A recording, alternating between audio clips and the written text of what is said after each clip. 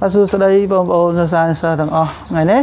លោកគ្រូមានមេរៀនថ្មីមួយទៀតតកតើងទៅនឹងច្បាប់ទី1របស់លោក Newton អញ្ចឹងច្បាប់របស់លោក Newton មានប្រមាណ3មែនទេអញ្ចឹងថ្ងៃនេះលោកគ្រូលើកច្បាប់ទី1មកសិក្សាអញ្ចឹងតើច្បាប់ទី1របស់លោក Newton ហ្នឹងមានទំនាក់ទំនងយ៉ាងដូចម្ដេចអញ្ចឹងលោក Newton ក៏បានពោលច្បាប់ដល់ទៅ3អញ្ចឹងច្បាប់ទី1គាត់ពោលថាម៉េចបាទ អំពើរបស់អង្គធាតុមួយមែនទេបើចំពោះអង្គធាតុមួយបើមិនរើងអំពើពីខាងក្រៅបើយើងនិយាយចំឬក៏វារងអំពើពីខាងក្រៅក៏ដោយ តែផលបូកនៃអំពើទាំងអស់នោះស្មើសូមអំពើនឹងស្អីគេកម្លាំងនឹងឯងមែនទេ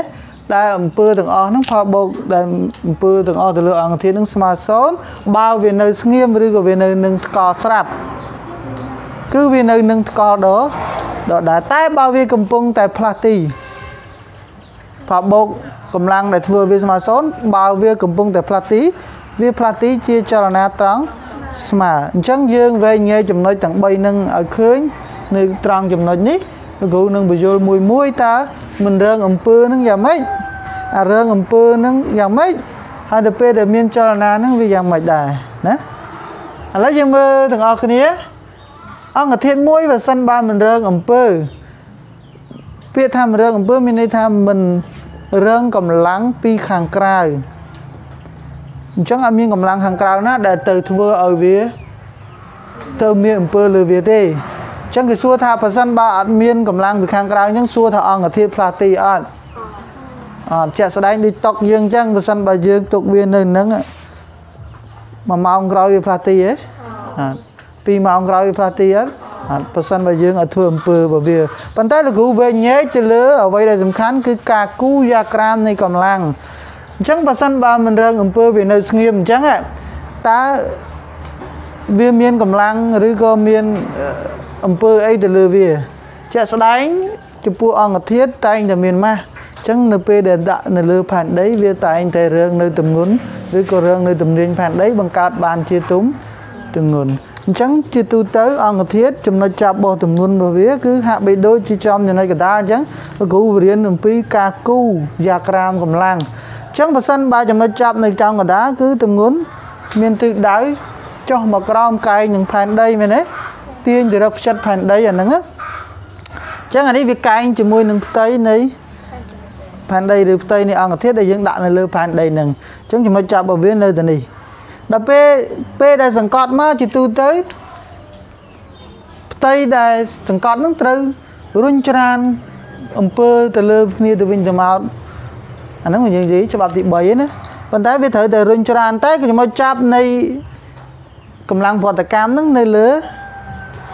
ផ្ទៃនៃអង្គធាតុកន្លែងនេះមិនមែននៅចំណុចរួមទេណាបើសិនបើយើងគូពន្លាតវាឲ្យធំអញ្ចឹងតែបើសិនបើយើងចាត់ទុកអង្គធាតុនឹងជាចំណុចរុក្ខធាតុយើងអាចគូចំណុចចាប់របស់វារួមគ្នាបាន តែពីនឹងទិសដៅផ្ទុយគ្នា model របស់វាស្មើគ្នាអញ្ចឹងផលបូករបស់វាស្មើប៉ុន្មាន0 model ស្មើគ្នា តែទិសដៅផ្ទុយទៅបូកស្មើ0 មិនមានចំនួនវិជ្ជមានទាំងឡាយណាបូកស្មើ0នេះមានន័យថាតើតែចំនួនវិជ្ជមាននឹងបូកនឹងចំនួនអវិជ្ជមានទើបវាស្មើ0អញ្ចឹងទិសដៅផ្ទុយបញ្ជាក់ថាមានទិសដៅមួយវិជ្ជមានមួយអវិជ្ជមានណាតើណាកន្លែងនេះអញ្ចឹងបើសិនមកនៅស្ងៀមអត់មានអំពើទេវារឿងតែពីរហ្នឹងប៉ុន្តែអាពីរហ្នឹងនៅតែ0ដដែលសួរវាផ្លាស់ទីអត់អត់ករណីទី2បើរឿងអំពើពីខាងក្រៅរឿងអំពើនេះលោកគ្រូយកតែពីរទេគឺ F អងនិង S ដើដូចរូបនេះមានន័យថា f អងមានទិសដៅផ្ទុយ BSD ក្នុងទិសតែមួយប៉ុន្តែតម្លៃ model នៃ f អង SD ហ្នឹងស្មើគ្នាយើងមិនបាច់គិតទិសឈើទេយើងដឹងថាអំពើផ្ទាល់របស់វាសូន្យហើយប៉ុន្តែអំពើពីខាងក្រៅនេះបើសិនបើបោកអំពើពីខាងក្រៅនឹងអំពើផ្ទាល់នឹងនៅតែសូន្យដដែលបើវានៅស្ងៀមស្រាប់វាតែនៅតែស្ងៀមដល់ បាទតោះហើយហ្នឹងមានន័យថាអង្គធាតុមួយបើយើងទាញខាងនោះ10នីតុនទាញទៅខាងនេះ10នីតុនដែរសួរថាវាទៅណាអត់មានអាណាខ្លាំងជាងអត់អត់អញ្ចឹងវានៅតែមិនផ្លាស់ទេប៉ុន្តែយើងគូនេះចំណុចចាប់របស់វានៅលើសាច់នៃអង្គធាតុតែបើសិនបើយើងចាត់ទុកវាជាចំណុចរុក្ខធាតុដែរក៏យើងអាចគូវានៅ ចំណុចចាប់តែមួយបានដែរណាបាទនេះគ្នាប៉ុន្តែផលបូកនៅតែ0នោះដល់ដែរ តែបើសិនបើមានចលនាជាចលនាត្រង់ស្មើកន្លែងហ្នឹងសិស្សខ្លះគាត់សម័យរត់ឃើញអញ្ចឹងលោកគ្រូឧទាហរណ៍ថាបើសិនបើយើងបោះឃ្លីនៅលើដីហើយនឹងបោះឃ្លីនៅលើកញ្ចក់សួរថាឃ្លីមួយណាដែលផ្លាស់ទីដោយបោះហ្នឹងដោយកម្លាំងដូចគ្នាតែសួរថាឃ្លីមួយណាដែលផ្លាស់ទីបានឆ្ងាយជាងពេលហ្នឹងយើងប្រកាសជាឃើញថាឃ្លីដែលផ្លាស់ទីបានឆ្ងាយជាងនៅលើកញ្ចក់ហើយហេតុអីកន្លែងហ្នឹង ដោយសារតែឃ្លីនៅលើកញ្ចក់ហ្នឹងវាបានរក្សានិចលភាពអញ្ចឹងចំណុចដែលវារក្សានិចលភាពហ្នឹងគឺកម្លាំងចលករនិងកម្លាំងកកិតនៃនៃកញ្ចក់ហ្នឹងធ្វើឲ្យផលបូកវាស្មើ0កន្លែងហ្នឹងនេះមានន័យថាទិសខនេះគឺអត់និយាយទេវាយើងនិយាយពីចំណុចទី1ហើយហើយអញ្ចឹងមានន័យថានៅពេលដែលចំណុចមួយដែលវារក្សានិចលភាពហ្នឹងគឺคลีហ្នឹងគឺរឿងនៃកម្លាំងចលករ និងកម្លាំងកកិតហ្នឹងដែលមានទិសដៅផ្ទុយគ្នាជាទូទៅយើងដឹងហើយកម្លាំងចលករមានទិសដៅផ្ទុយពីកម្លាំងកកិតហើយអញ្ចឹងកម្លាំងទាំងពីរមានទិសដៅផ្ទុយគ្នាពេលហ្នឹងកម្លាំងចលករមានតម្លៃប្រហាក់ប្រហែលទៅនឹងកម្លាំងកកិតធ្វើឲ្យផលបូកពីរនឹងស្មើសូន្យប៉ុន្តែវារក្សានិចលភាពធ្វើឲ្យចលនានៃឃ្លីនឹងផ្លាស់ទីទៅមុខទៀតតែផ្លាស់ទីដោយលបឿនថេចុះសួរតែពីមុនមុនមកដល់ចំណុចរក្សាចលភាពវាថេអត់អត់ទេ វាថយចុះបន្តិចម្ដងបន្តិចម្ដងតមកដល់កន្លែងរក្សាចលភាពនឹងធ្វើឲ្យកម្លាំងកចលករនិងកម្លាំងកកិតនឹងវាប្រហាក់ប្រហែលគ្នាទៅឃ្លីនឹងរក្សាចលភាពទៅមុខទៀតបង្កើតបានវិជាចលនាត្រង់ស្មើដោយលបឿនថេកន្លែងហ្នឹងអញ្ចឹងមានន័យថាចំណុចរក្សាចលកររក្សានិចលភាពហ្នឹងមិនមែនវាអត់រឿងកម្លាំងចលកររឿងប៉ុន្តែកម្លាំងចលករនិងកម្លាំងកកិតនៃផ្ទៃរបស់ឃ្លីជាមួយនឹងកញ្ចក់ហ្នឹងវា ផលបូកវាស្មើ0ឬក៏កម្លាំងពីរហ្នឹងស្មើគ្នាដោយយើងដឹងថាកម្លាំងកកិតជាផលគុណរវាងមេគុណកកិតនិងកម្លាំងសង្កត់អញ្ចឹងយើងធ្វើឲ្យកម្លាំងចលករក៏ស្មើនឹងមេគុណកកិតគុណនឹងកម្លាំងសង្កត់ដែរកន្លែងហ្នឹងណាបាទប៉ុន្តែកន្លែងនេះលោកគ្រូបញ្ជាក់បន្តិចថាអ្នកខ្លះគាត់យល់ច្រឡំថាកម្លាំងសង្កត់ហ្នឹងជាទម្ងន់ទាំងអស់មិនមែនទេបើវា កម្លាំងសង្កត់ជាទម្ងន់លុះត្រាតែវាសិក្សាទៅលើផ្ទៃរាបដែលទម្ងន់វាកាយនឹងផែនដីជានិច្ចប៉ុន្តែក្នុងនេះគឺយើងសិក្សាលើផ្ទៃរាបអញ្ចឹងយើងអីគេ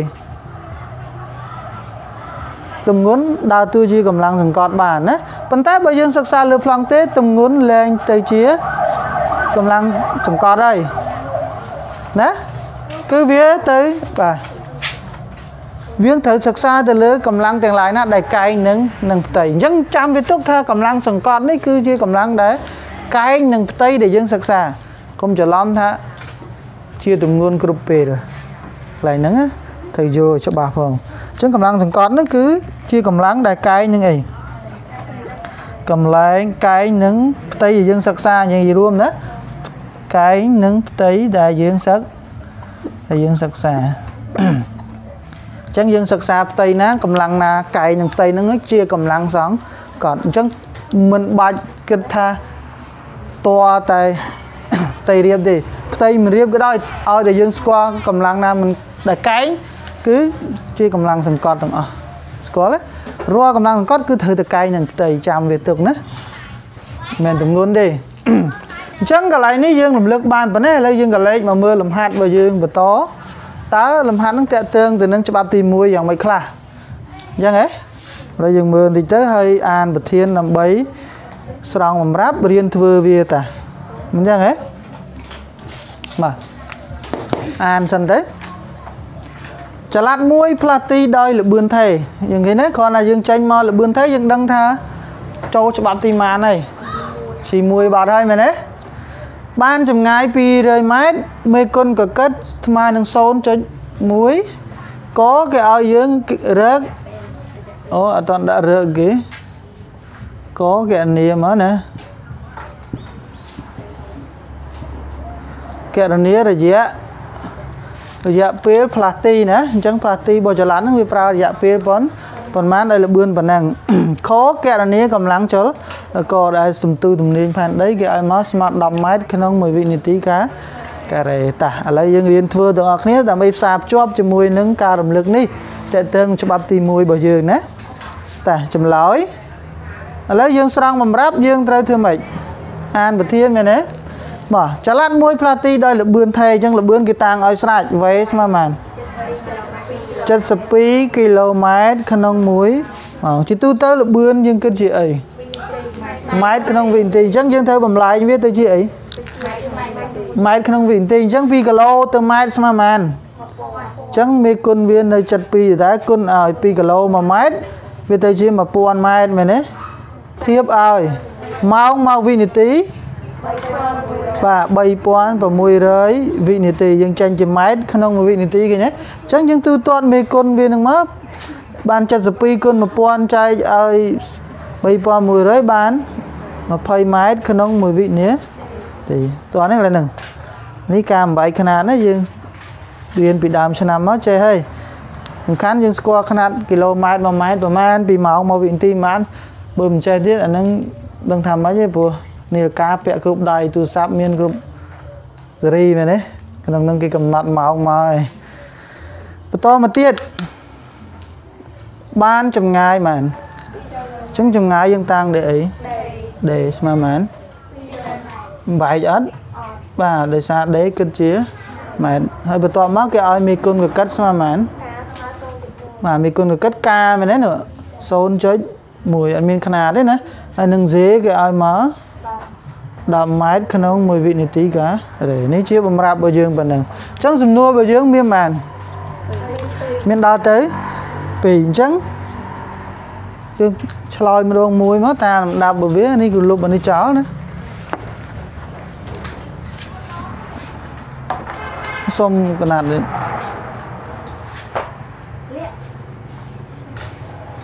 មានអីឆ្ងល់អាចសួរលោកគ្រូបានតាទូលុបនេះយើងកែបន្ត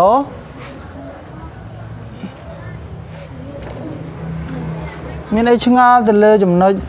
ច្បាប់ទី1ហ្នឹងអាចយើងសួរឡើងវិញណា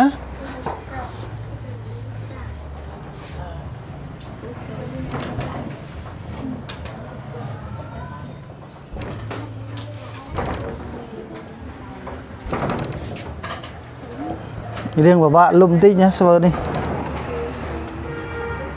តែឥឡូវសំណួរទី1របស់យើងគេសួររកអីរករយៈពេលមែនទេរយៈពេលយើងតាំងអីតែអញ្ចឹងដោយសាររយៈពេលក្នុងនេះវាផ្លាស់វាប្រព្រឹត្តទៅក្នុងចលនាត្រង់ស្មាលបឿនថេមែនទេអញ្ចឹងយើងត្រូវរកលបឿនត្រូវរករូបមន្តដែលតេតើងទៅនឹងចលនាត្រង់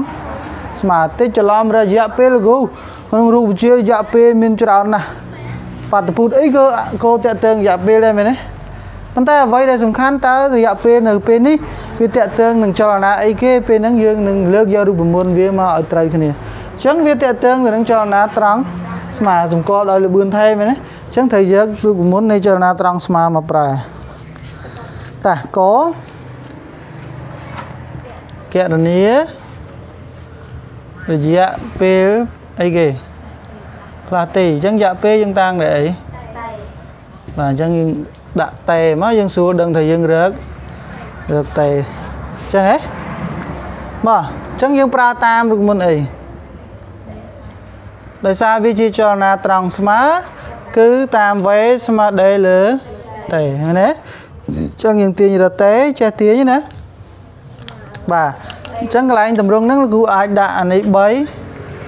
អានេះតំណាងឲ្យ6អានេះតំណាងឲ្យ2អញ្ចឹងបើយើង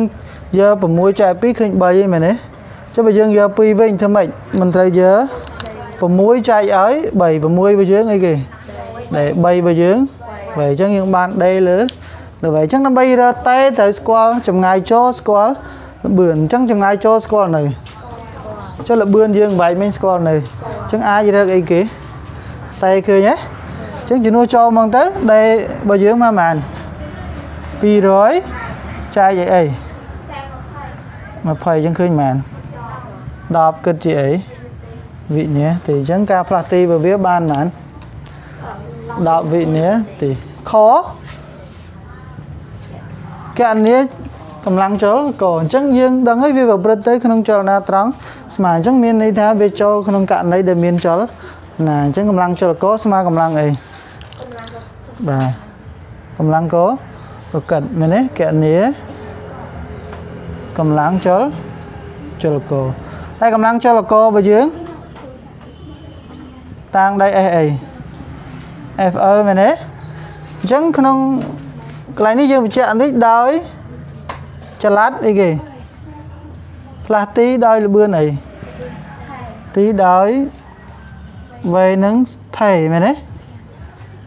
អញ្ចឹងបើវាផ្លាស់ទីដោយវេថេអញ្ចឹងយើងអាចបញ្ជាក់ប្រាប់គេបានថាកម្លាំងចលករគឺស្មើនឹងកម្លាំងកប្រកិតឬក៏ផលបូកបើវាស្មើសិនបើយើងនិយាយទៅទៅ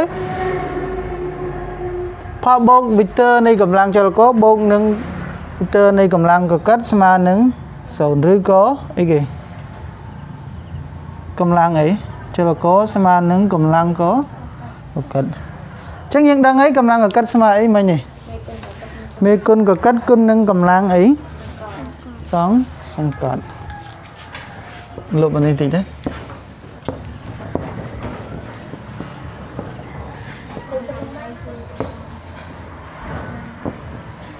បាទឥឡូវយើងដឹងថាដើម្បីរើកម្លាំងចលករគឺយើងស្មើនឹងកម្លាំងអង្កត់អញ្ចឹងកម្លាំងអង្កត់យើងមានរូបមន្តមួយគឺយើងបញ្ជាក់គេទៅដោយកម្លាំងកកិតស្មើ